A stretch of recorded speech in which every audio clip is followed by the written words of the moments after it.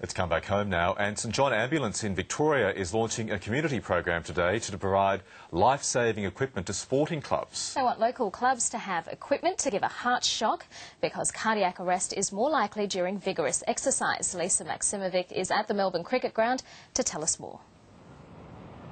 Well, good morning. The Heart Start campaign will be launched today here at the MCG. It involves life-saving equipment, defibrillators being provided to grassroots sporting clubs across Victoria. Uh, last year in Victoria alone, sadly, three people died and there were several other incidents on sporting fields as a result of cardiac arrest. Uh, Doug Hawkins joins me here this morning. Uh, Doug, uh, to tell us a little bit more, it was tragedy. It was a tragic event that led to you becoming involved in this campaign. Tell us about what happened. Yeah, it was, Lisa. Um, I was the coach of the Bacchus Marsh under 16 and a halves, and um, one of the young boys that I coached there, matter of fact, not just the boy I coached, he was like a second son to our family, grew up with our young boy Ricky. Uh, collapsed in a game of footy, in a, in a finals game against North Ballarat. Um, we didn't have a defib on the ground at that stage, um, which Lisa, I'm not sure. Would have would it saved Nathan's life, Nathan Prince's life? I'm not sure, but it could have, you know. But since then, Lisa, the Ballarat Footy League, every club now has a defib, which would be fantastic. And obviously with St John's Ambulance Victoria now with the launch today of 100 defibs, I think the cost is about 400 grand. Uh, it's going to be fantastic. So, so Lisa, from a, a tragedy, something good may come of it. Of course, that must have had must have been just devastating for Nathan Prince's family, his friends, and, and teammates, as you were telling me earlier. But what effect, what impact did it have on your club as well? Well, I think that the club itself to go through that situation to see a young boy, you know, at least only three hours early in the back of my car going to a game of footy, having a laugh and a joke and a bit of fun. Then three hours later, we're fighting for his life. And uh, I think the effect on, on, on the boys, his teammates, was just something you can't explain. Uh, the, the footy club were very, very strong.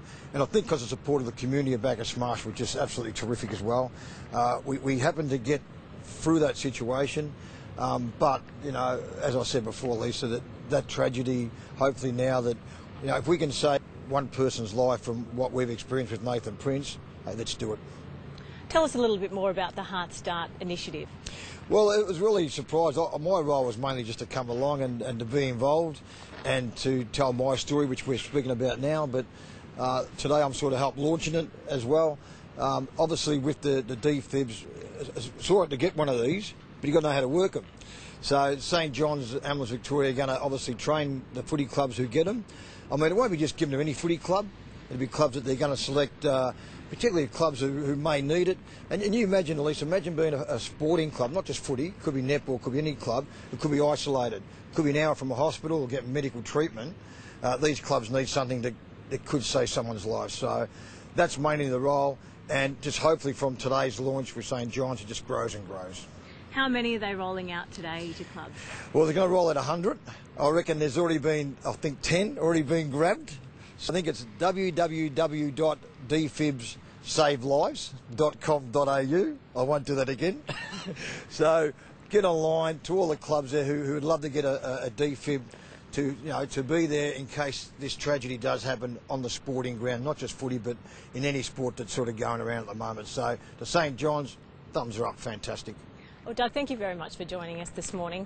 Uh, the St John's, as we mentioned, launching today, but their goal is to actually roll out defibrillators to every Victorian sporting club, not just football, but various other sporting clubs, so that every one of them has a defibrillator at the club and knows how to use it before 2014. So a good goal, let's hope they can achieve it. Lisa, thanks very much for that.